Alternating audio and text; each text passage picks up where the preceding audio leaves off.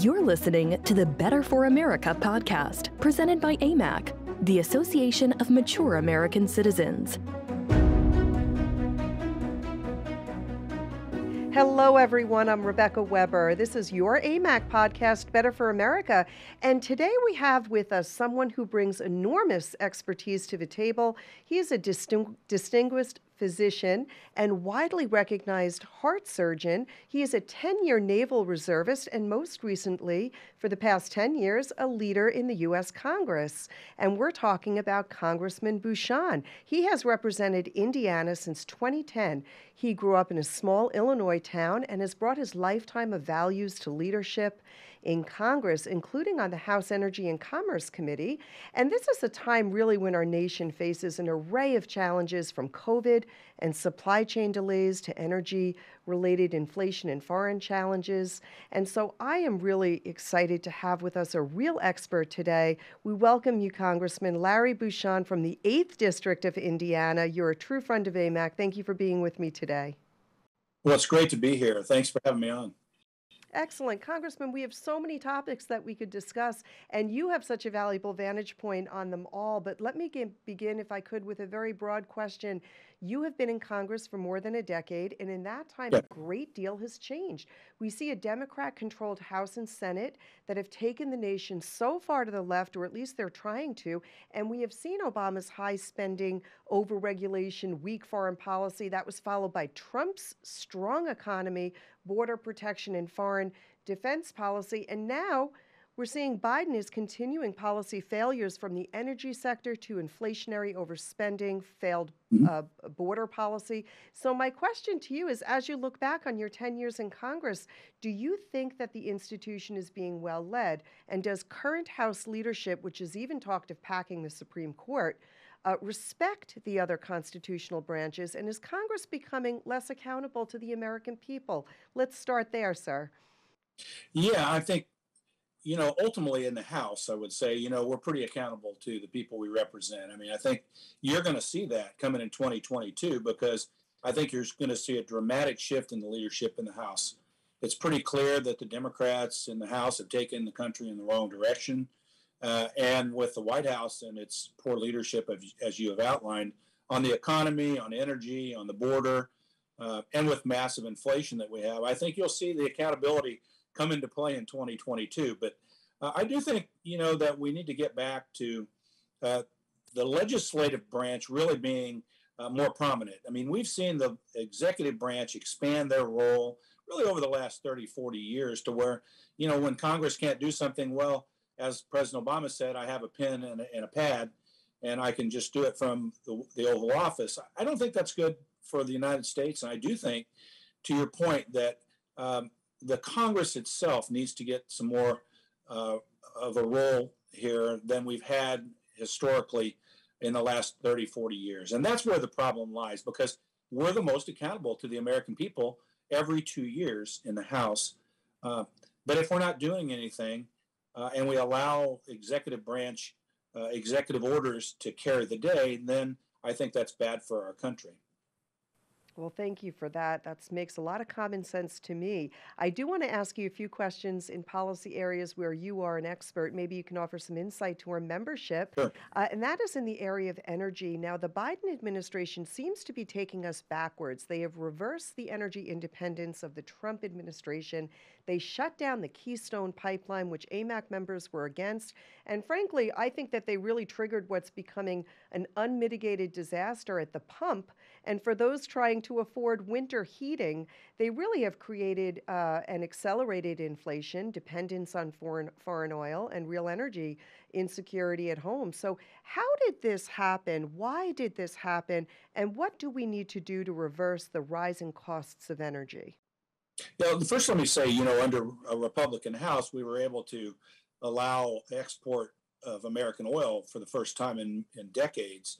Um, and under a Republican House, even though we had a Democrat president under President Obama when that happened, you know, we've become energy independent. And under the Trump administration, they continued that pathway. What the current administration has done, uh, some of the things you've outlined, is taken us backwards.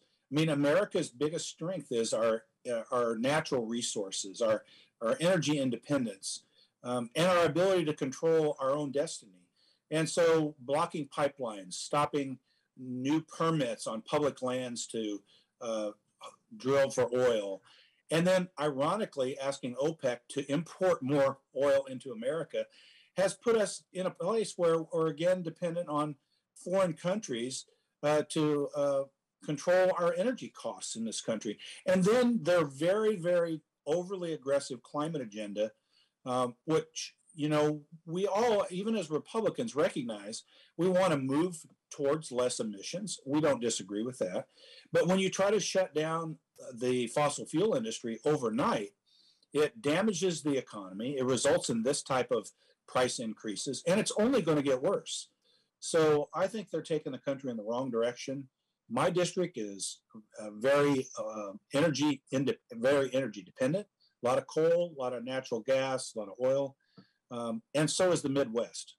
So you're spot on. This administration's taken the country in the wrong direction, and it's going to lead to uh, higher prices, not only at the pump, but when you go to pay your electrical bills, when uh, and uh, people just aren't going to be able to afford it. Seniors on a fixed income, low income Americans are the ones who are going to be hurt the worst.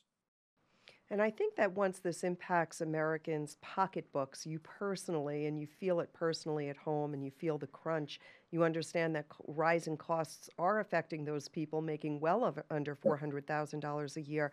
It is waking America up to say, hey, who are we electing into office? So I do hope and pray that 2022 brings with it a red wave. Uh, we need some more common sense. Uh, we need to put America first. I want to thank you for your insights.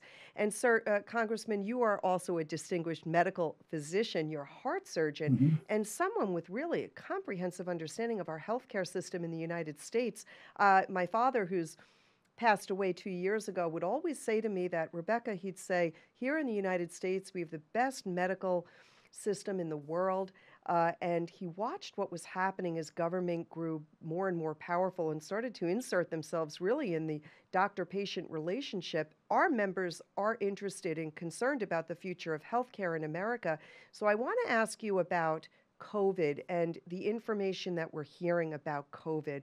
Um, these are really important questions, and so many questions that have been rippling, uh, so mm-hmm. many that our older Americans have. Can we get, before I shift to COVID, first off, the, the, the price of prescription drugs, uh, there it keeps soaring. The overall cost uh, of Medicare, uh, medic, medical uh, prescription drugs, AMAC is always looking to drive down those costs. How do we do that? Let me start there because a lot of folks listening, they're taking their prescriptions and they're seeing the cost for these prescription drugs increase. What can we do to lower the cost of prescription drugs here in America? Well, there's a number of things that we, we can do. One of the things is we have to get rid of the anti-competitive practices that are occurring in the industry. It's a it's a long supply chain there with a lot of middle people and so you have some anti-competitive practices where people like pharmacy benefit managers, insurance plans, and others, their incentives aren't aligned to get the cost down because their incentives are aligned to make money. And there's no transparency there, so the American people can't see where that money is going. So you have misaligned incentives. Um, you have a supply chain problem all the way from the manufacturer to the pharmacy. Uh, and it's a very difficult problem to solve, but I can tell you the one thing you can do is make sure that there's uh, uh, no anti competitive practice. For example, let me give you one example.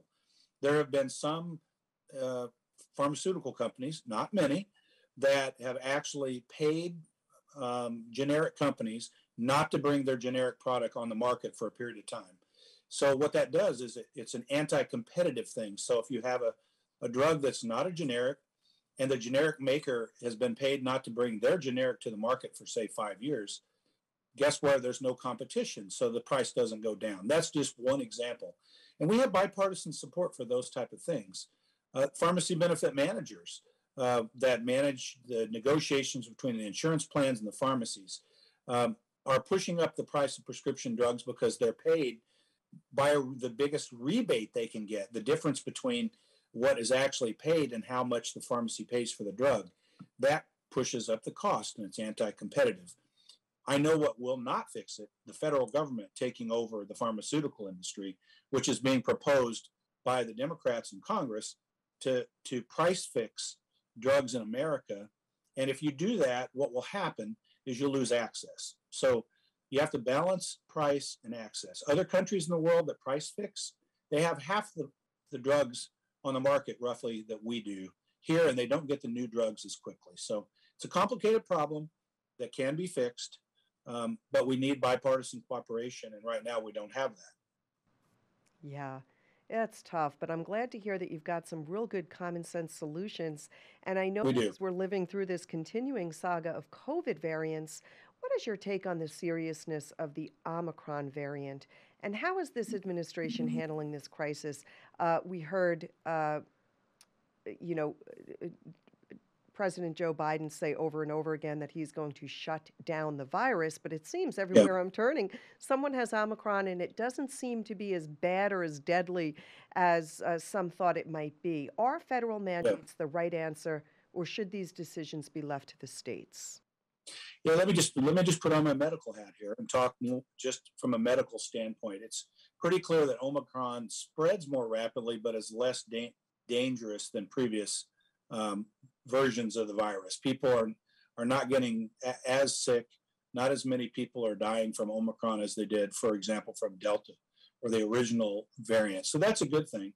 But it's a mistake to say, from a politician standpoint, that you're going to shut down the virus, you're going to eliminate the virus. You're not going to do that because it's a, a virus that's all over the world. It's just like the measles was back in the day and still is in some countries. So, what you have to do is you have to help people understand that the only way to really get control of this is to be immune.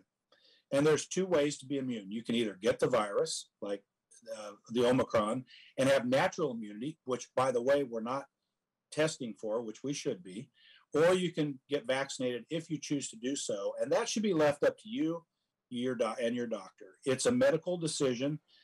Look, as a doctor, I think the vaccines are safe and effective. I've been vaccinated.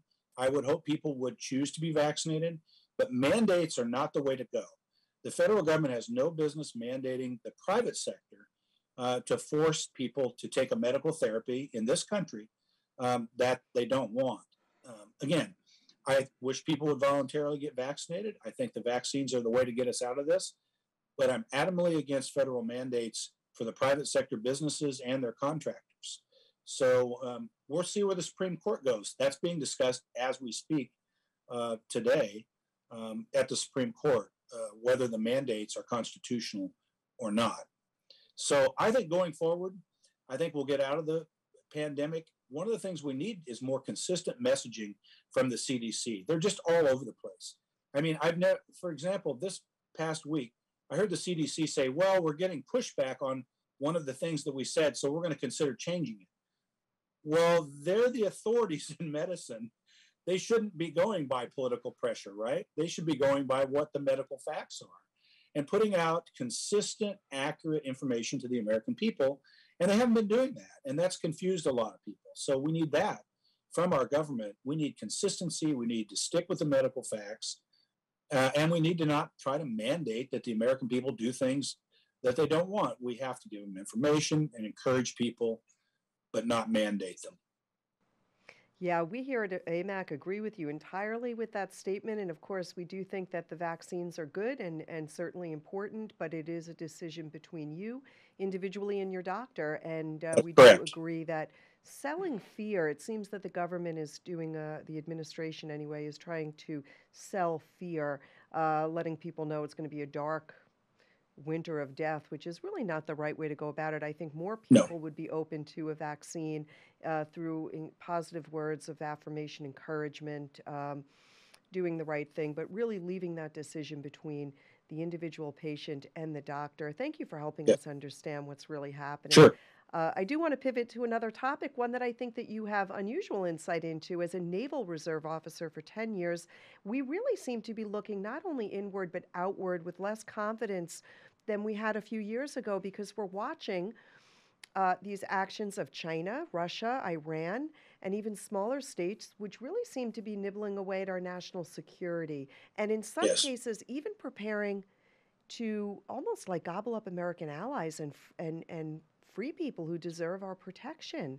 Uh, our national security seems, in a few short months, very much at risk.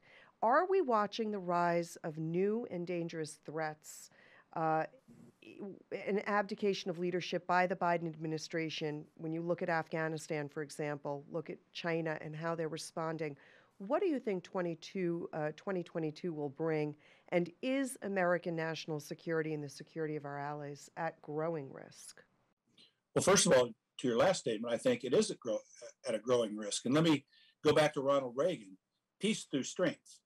Uh, what people understand out there, our adversaries understand, is a strong America that supports its allies and is willing to step into the fray to protect freedom and liberty around the world. And so, what you're seeing from the current administration is not unexpected because President Obama was like this, President Carter was like this. Mm. To a certain extent, uh, President Clinton, but not as much, honestly. With the Balkans, President Clinton finally stepped up. Um, but you see this, it's a more of a pacifist type approach.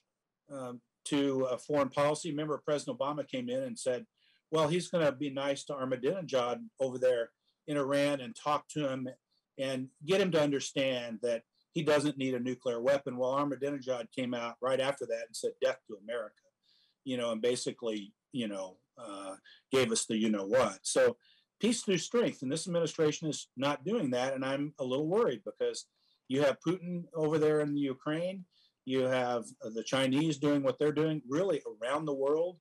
Um, and we need to show American strength and that the Americans will stand up for our allies and defend liberty and freedom. And we're not doing that, and I'm concerned about it. But honestly, I think that it, it will turn around because you'll see uh, more and more criticism of this administration. And the American people aren't stupid. They understand that America needs to step up and be a force around the world for the most part. Most of the American people understand that. Um, so we'll see. I hope we can get through the next, you know, three years before we get a Republican president. Um, That's right. But I do think, but I do think this administration is has a feckless foreign policy. It's it's passivism, um, and I'm concerned.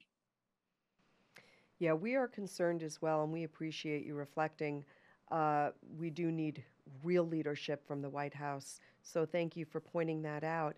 I think it's really interesting too when we see what's happening on the left. A lot of things are really backfiring. For example, uh, we see that the left has got this massive push for a federal takeover of our elections. Uh, and AMAC is concerned. We recognize that there were so many things that were done uh, because of COVID in the 2020 presidential election.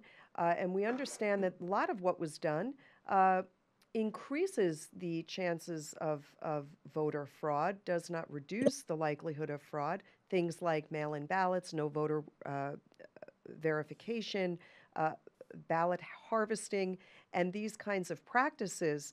Um, so I think, Congressman, I'd like your opinion on this, but I believe that when it comes closer to the 2022 midterms, that people, as you've indicated, are smart. Americans are smart.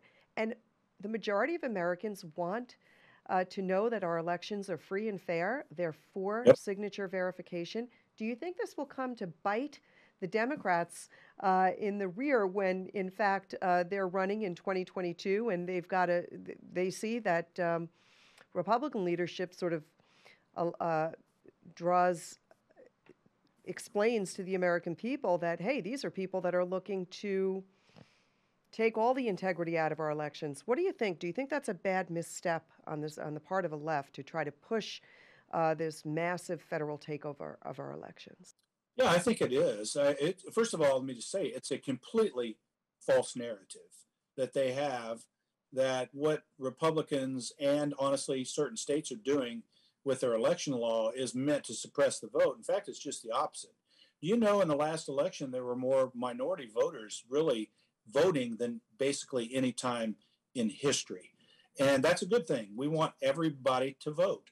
But what the Democrats are trying to do, for example, specifically for Indiana, is they want to eliminate our voter ID law, which the people in the state of Indiana love and they understand that you should have to show your ID to vote. You have to show your ID to rent a hotel room, to rent a car, to do anything. Ironically, to get yourself into a public building in the federal government.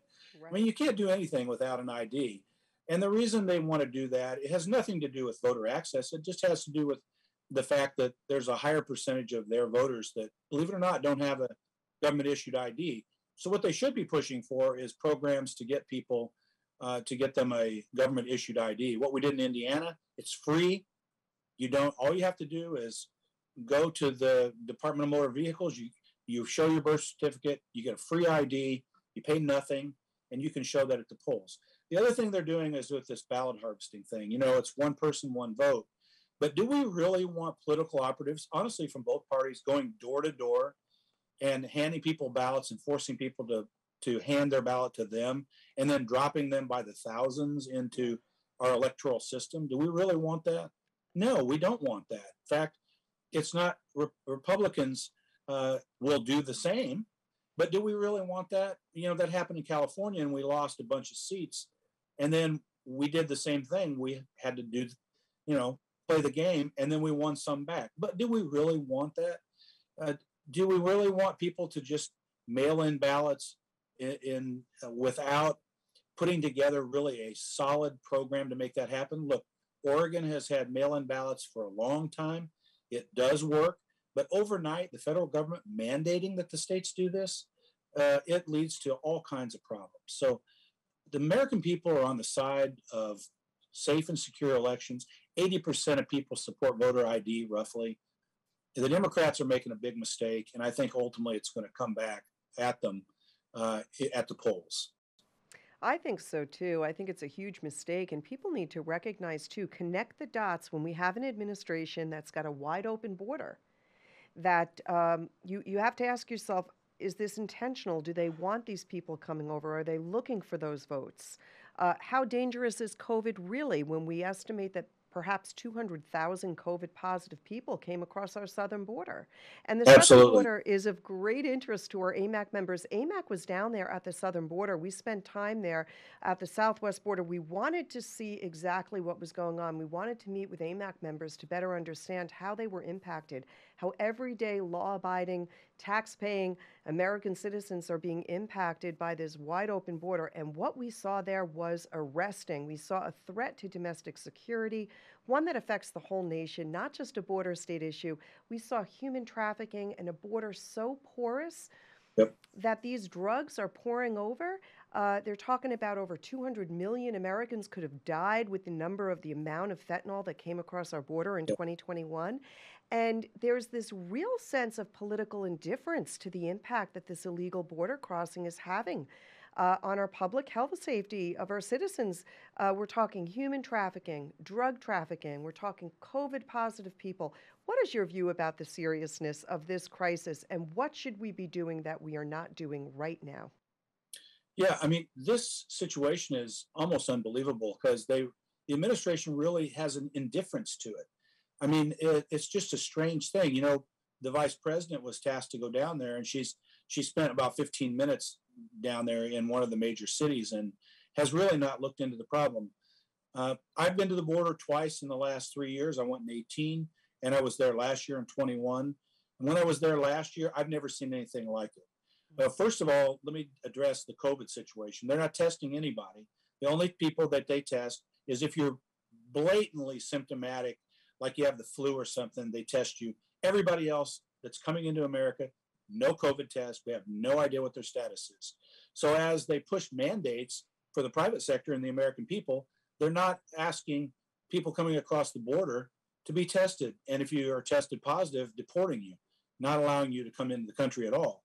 So that's one issue. The other other issue is it's not just historical uh, norms of the type of people coming across. It used to be that you'd have Mexican citizens, mainly men of the working age, coming across looking for work. Now, if you talk to the border people, we've had people from over 150 some countries that are that have come across the border and been apprehended.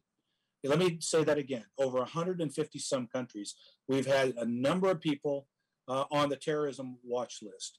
We've had all kinds of felons that have been deported from America multiple, multiple times. Uh, we've had people bringing uh, little babies over saying it's their kid and it's not. And the same kid coming back and forth multiple times with different adults trying to say they're a family unit. We have an unbelievable number of unaccompanied minors. This is really tragic. We were in a, a facility in Donna, Texas, that had these unaccompanied minors. Uh, there was a building that was supposed to have 350 children there. It had 4,000 the day we were there. None COVID tested, packed in there like sardines in a can. It's a humanitarian crisis. Can you imagine if you had a child and you just sent them to a foreign country, they don't speak the language, they're six or eight years old, uh, and they're there by themselves, and you depend on uh, the good nature of that country uh, to uh, take care of them.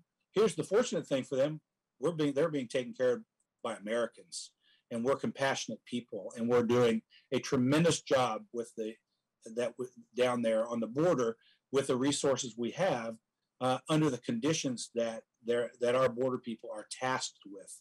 They're doing a just a tremendous job. But let me tell you, they're worn out, uh, they're overwhelmed, um, and I just don't understand the indifference of this administration. Do you have a sovereign country if you don't have a border that you can protect? The argument for that uh, is that you do not, and uh, that's where we are. I mean, I've never seen anything like it. Last thing I'll say on this issue is the drugs. We just had a drug bust in Evansville, Indiana, a town of about 130,000 people. The amount of fentanyl found that came from Mexico, we know this, could kill 350,000 people. That's in a small town the size of Evansville. We're, we're having just an open border with fentanyl coming across the border, killing uh, really thousands and thousands of Americans. And the cartels are making millions of dollars on this. And honestly, Americans on our side are helping facilitate that and making millions, flooding our communities with fentanyl and killing our citizens. How, as a government, as an administration, can you turn a blind eye to that? I just don't understand it. Yeah, and the numbers don't lie. Numbers are facts, numbers are truth, numbers are real. People who are listening here should not be supporting anyone who supports Joe Biden's outlandish, no. insane policy as it relates to our southwest border. Uh, clearly, he's not putting America first. He's not putting America people first. And when you look at the foreign threats that we're seeing, and when you look at the porous border, and you put these together, we should be putting more resources into our law enforcement. But what do we hear? What do we hear from the White House? What we're hearing from the White House is, well, no, we don't we, we don't want to defund the police, but they say nothing when we see these reckless DAs that are saying we're going to let everybody out on the street. We're not going to put people away for what they consider to be minor crimes, which are I mean, this would be unheard of years ago. We see I oh live my. here in New York, Congressman. We're, you know, I can't go into New York City anymore. That's the the real truth of the matter is is that gone are the days where you'd like to go in. Uh, let alone COVID, we know that that makes it difficult. But even if you take COVID out of it, the the um, the city is changing. New York is changing, and we can point directly uh, to these extreme liberal policies that are really ruining our nation. It seems these days, Congressman, that leaders, many of the leaders in Congress, want to spend money on countless things that Americans aren't interested in, uh, a consolidation of power at the federal level, and they underestimate the value uh, of the American people and their thoughts. it, it, it is a real it is a real shame. What can be done to carry the message forward? Uh, you know that we need to do something here to reinforce peace, peace here in America, safety at home. What what what should we be doing, and what can Congress do? Can we can we do anything more? Can we put more resources towards defense and crime, fighting crime? Absolutely, we can. Let me go back to the previous question. Just say on the border, I forgot to mention, we need to complete the physical barrier along the border. No doubt about it. The border control people say they can't fix this without it. We need to go back clearly to the state of Mexico plan under the Trump administration. Uh, we need more judges to adjudicate asylum cases. We need to change our asylum laws so they're not they're not abused. All the things the Trump administration was doing. On the issue of the police, we absolutely need to go back to a, a strong support for our law enforcement in our cities. I mean, if you're in New York City, uh, can you imagine what the prosecutor came out and said the other day. I mean, when I read that all the laundry list of crimes, they're just not going to do anything about. One of them, for example, is resisting arrest. So when do you think uh, a criminal is going to be arrested by the police, they can just push the police down, they can run, they can do whatever, and they're not going to be put in jail for that. You know, imagine small crime, petty crimes. Imagine if somebody comes into your store, you're a local business owner in New York City. They just come in, steal a bunch of stuff, walk out and laugh because they know that the prosecutor, oh, that's just a petty nonviolent crime. They're not going to do anything. I mean, it's just outrageous. You know, I've been a big supporter of law enforcement for decades, way before I was in Congress. You know, if you look back at the history of New York City, for example, and I have done that, what Giuliani and others did to clean up New York City, how did they do that? Uh, first of all, they got communities involved in their own neighborhoods. Uh, they put more police on the street corners. They they made sure that the city looked nice. They didn't allow uh, people to destroy their city, and they got buy-in from the communities. So what are we doing now? Well, the the liberal politicians, people in these communities. Uh, don't trust law enforcement. They don't cooperate with them.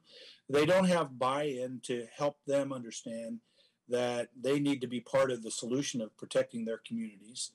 Uh, it's just completely backwards. Um, and I, I tell you, I think that again, the American people are going to put, finally push back. Uh, I'm optimistic about New York based on the new mayor. We'll see what his rhetoric uh, during the campaign about stronger law enforcement, uh, whether that comes to fruition or not. Um, but we also have to stop this situation where we have George Soros supporting these candidates in, for prosecutors in all of these cities. That's one of the big problems, and you pointed that out. Um, the American people uh, understand this, um, and they're going to start kicking these people out of office. You know, if you poll the African American community, 80% of them want more police on the street, not less. That's facts. That's numbers. As you said, numbers don't lie. This is, you know, it's a false narrative to say that that's not the case. You know, the only people that don't want more cops on the street are the criminals. That's so um, we we've got to get. It's just foolish. Uh, it's not rocket science here. Um, and you know, if people want to decrease the number of people's in prisons, you know, we have to find the root cause of crime. We have to get back to getting people better educated, having people have more economic opportunity in their own neighborhoods, right? Rather than just government programs that throw, uh, you know, welfare money and food stamps That's and things right. about people that keep them trapped in their economic situation, keep them trapped in a community with no opportunity, with no educational opportunity. Uh, that's what we need to be doing. Yeah, I agree. More focus on the family. The family unit is so important. Correct. That's where we ought to be investing. Uh, school choice as well. We've got to see our children back in schools. Yes. And we've got to make sure that the schools are putting our children first.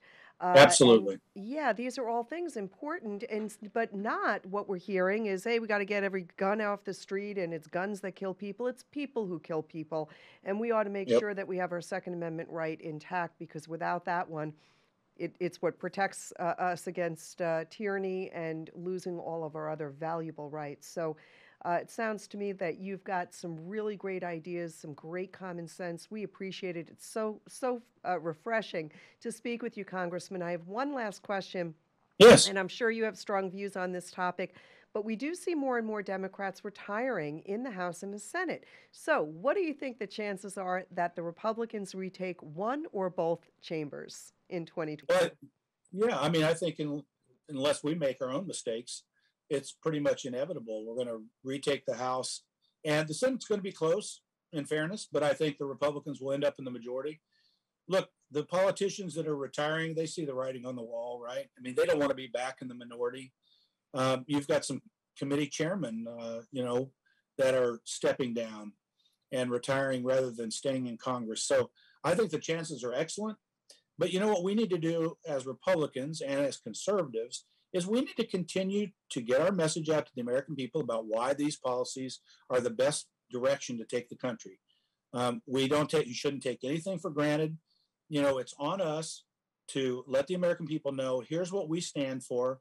Here's the traditional American values, family values, uh, freedom, liberty that we stand for, and why it's better for America, and make that case to the American people and not take this for granted. But I do think if we do that, we will take back the House and we will have the majority in the United States Senate in 22.